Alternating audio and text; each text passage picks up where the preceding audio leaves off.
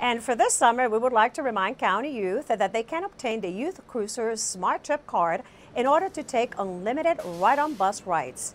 The Youth Cruiser card can be obtained at any of the county's libraries at a cost of $2. Users can opt to pay $11 for a full month of unlimited rides during the summer or $18 for three months of unlimited rides. The program is intended to help youth get out and about during the summer.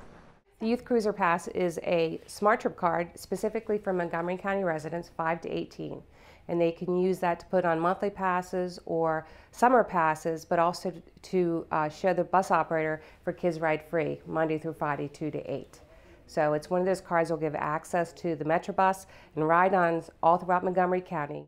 The only requirements are to be a county resident and between the ages of 5 and 18.